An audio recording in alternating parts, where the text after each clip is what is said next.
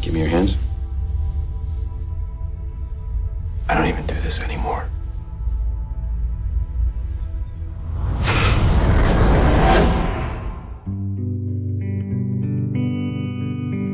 Your brother, I'm telling you, he's, he's really for real. You can make money doing this.